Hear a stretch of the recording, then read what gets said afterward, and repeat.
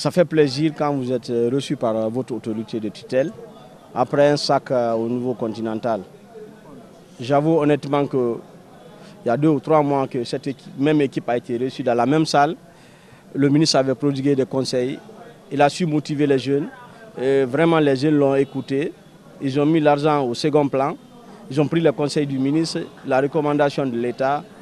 Et ça paye aujourd'hui. La Guinée va représenter tout le continent africain au niveau des juniors euh, au mois de mars au Costa Rica. Moi, je pense bien qu'aujourd'hui, ça, c'est une histoire qui est derrière nous.